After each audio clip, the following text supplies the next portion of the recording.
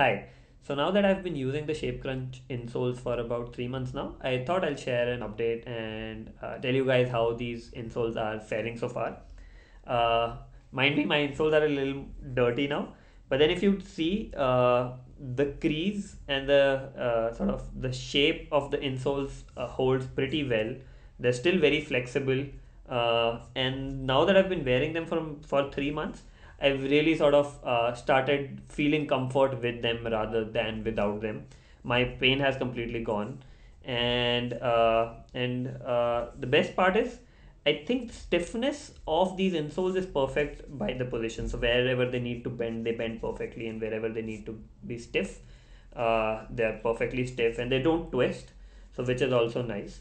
Uh, I'll also sh- share some photos of me standing on the insoles and how my flat feet look like with and without the insoles.